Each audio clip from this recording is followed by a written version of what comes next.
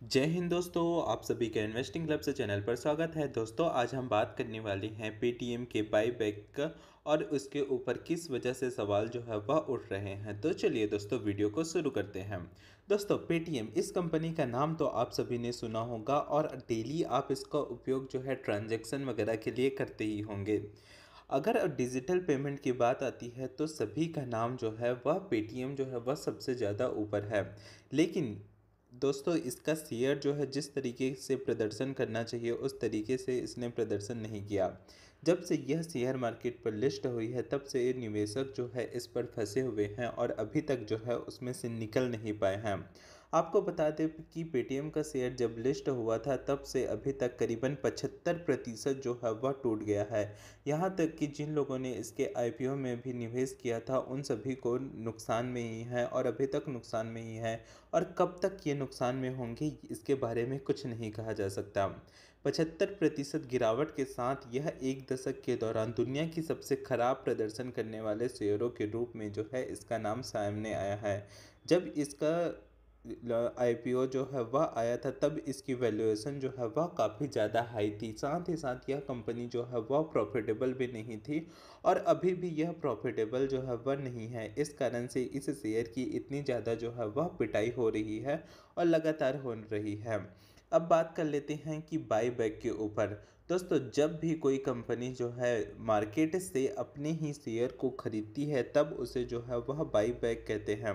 जैसे मान के चलिए, कोई भी कंपनी है, जो शेयर मार्केट पर लिस्ट है और वह जो है अपनी हिस्सेदारी जो है वह बढ़ाना चाहती है तो वह मार्केट में जो भी वर्तमान में उसकी कीमत होती है, उससे कुछ प्रतिशत ऊपर जो है वह बाई बैक ले आती है, जिस पर जो है जो भी लोग अपना शेयर जो है वह देना चाहते हैं, वह सभी शेयरों को कंपनी जो है वह खरीद लेती है। कंपनी जो है वह किस अनुपात में शेयर को खरीदती है, वह पहले से ही डिसाइड रहता है। यानी ऐसा नहीं होता कि आप जितने शेयर आपके पास है, उन सभी को जो है कंपनी जो है वह खरीद ही लेगी। उसका एक डिटेल वीडियो जो है मैं आपको फिर किसी वीडियो में जो है वह बताएँगे। अब बात कर लेते हैं कि पेटीएम के आईपीओ के ऊपर, सॉरी बाईबैक के ऊपर इतना ज़्यादा सवाल जो है वह क्यों उठ रहा है? दोस्तों, यह कंपनी जब से शेयर मार्केट पर लिस्ट हुई है, तब से इसका शेयर जो है काफ़ी ज़्यादा गिरावट हो गई है।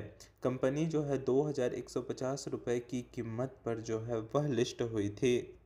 और वर्तमान में इसकी कीमत जो है वह पाँच सौ बयालीस दशमलव छः पाँच रुपये है। आज की क्लोजिंग वैल्यू को देखेंगे तो। अगर इस हिसाब से देखें तो इसका शेयर जो है वह पचहत्तर प्रतिशत जो है वह टूट गया है। कंपनी जो है वह अभी तक जो है वह प्रॉफिटेबल जो है वह नहीं हुई है और लगातार घाटे जो है वह रिपोर्ट कर रही है और कब तक यह प्रॉफिटेबल होगी इसके ऊपर भी कोई निश्चितता जो है वह नहीं है। ऐसे में कंपनी जो है अपने पास जो फंड है उसका उपयोग जो है इस बाईबैक को में करेगी। जिसके पास कंपनी के पास जो कैश बचा हुआ है, वह कैश भी ख़त्म हो जाएगा। जो इसके रनिंग कैपिटल के लिए चाहिए, उसके लिए भी कंपनी को जो है दूसरे संसाधन जो है वह जुटाने होंगे। ऐसे में कंपनी जो है वह बाई बैक क्यों लेकर आ रही है, इसके ऊपर जो है निवेशक जो है वह सवाल उठा रहे हैं।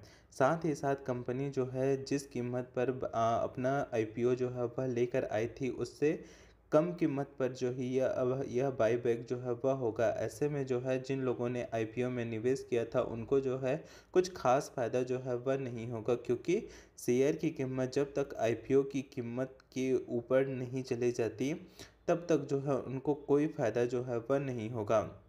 ऐसे में जो जिन्होंने प्री आईपीओ में इनको इस शेयर में निवेश किया हुआ था।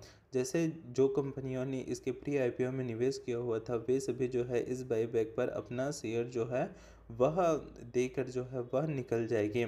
ऐसे में जो आम निवेशक है, उसको भी नुकसान होगा। अब ऐसे में सवाल आता है कि कंपनी जो है वह बाईबैक लेकर आ ही क्यों रही है?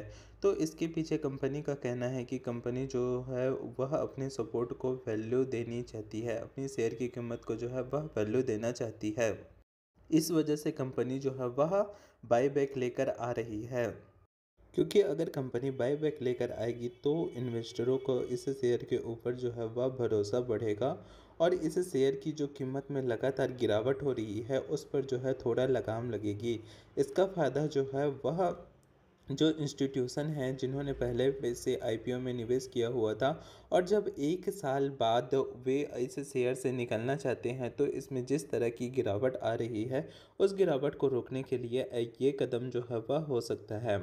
दोस्तों, अगर आपको यह जानकारी अच्छी लगी तो इसे अपने दोस्तों के साथ शेयर करने में कंजूसी ना करें, और अभी तक आपने अपना डीमेट अकाउंट नहीं खुलवाया है तो नीचे दिए हुए डिस्क्रिप्शन के माध्यम से आप अपना डीमेट अकाउंट खुलवा सकते हैं।